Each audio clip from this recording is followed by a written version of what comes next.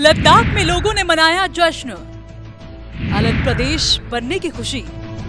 नाच गाकर खुशी का इजहार।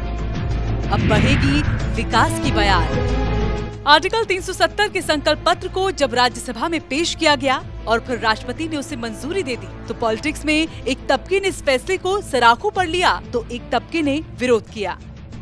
लेकिन लद्दाख के लोगों के लिए मौका जश्न का था। नाच गाकर लोगों ने अपनी खुशी का इजहार किया। लद्दाख जम्मू कश्मीर का हिस्सा ज़रूर था, लेकिन सालों से श्रीनगर में बैठी सरकारों पर ये इल्ज़ाम लगता रहा कि वो लद्दाख के साथ सौतेला बर्ताव करते हैं।